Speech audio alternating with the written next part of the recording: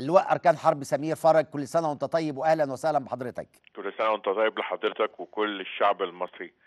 آه، اسمح لي بس أجمل الكلام الجميل اللي حضرتك قلته اتفضل في يا فندم. البداية كده عشان الجيل الجديد ما يعرفش. إحنا استعدنا سينا بثلاث معارك. خلاصة الكلام اللي حضرتك قلته. الأولاني معركة 73 وهو الجيش المصري اقتحم قناة السويس وخط بارليف وحرر جزء من سينا. ثم المعركة الثانية هي المعركة السياسية. لما الرئيس السادات رحمه الله آه، طلع كامب ديفيد ووقع على اتفاقية السلام مع إسرائيل معاهدة السلام وبالتالي استعدنا الجزء الثاني من سينا. أما المعركة الثالثة اللي حضرتك قلتها هي المعركة القانونية اللي خدتها مصر في عشان استعادة آخر جزء من طابة.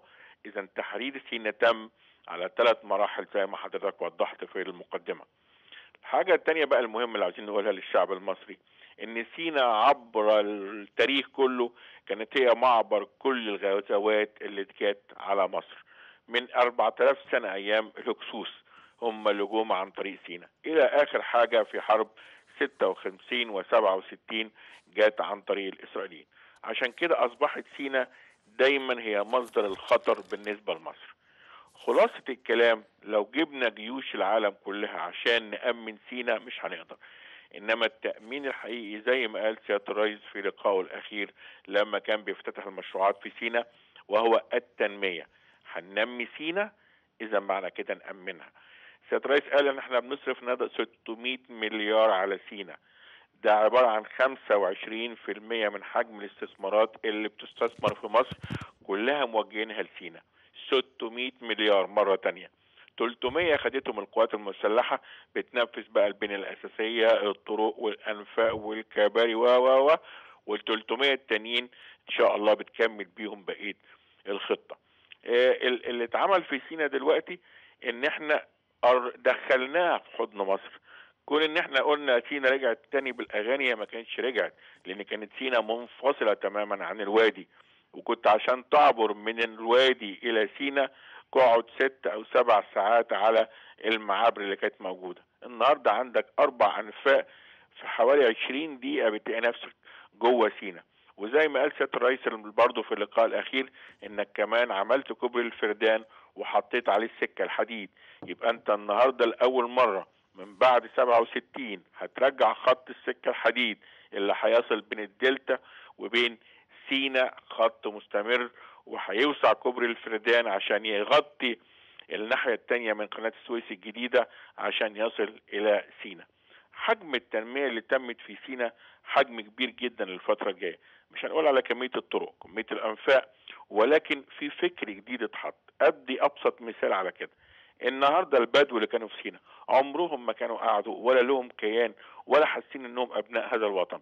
حتى من حوالي 20 سنة لما بنى لهم بعض القرى البدوية كان البدوي بياخد مفتاح البيت اللي أخده ويمشي لأن البدوي عايز المية.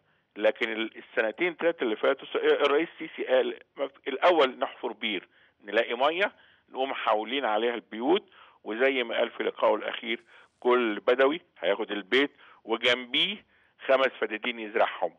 اذا أصبح في تجمع سكاني. جنبه مدرسة جنبه وحدة صحية جنبه جنبه. اذا أنت ربطت البدوي لأول مرة بالأرض. الأخطر من كده اولاده داخلين المدرسة. اذا هنلاقي بعد أربع خمس سنين اللي اتخرج من الثانوية العامة ودخل كلية الشرطة كلية الطب بقى في المهندس والطالب والضابط والمحامي و و و. لأن ده ما كانش موجود قبل كده.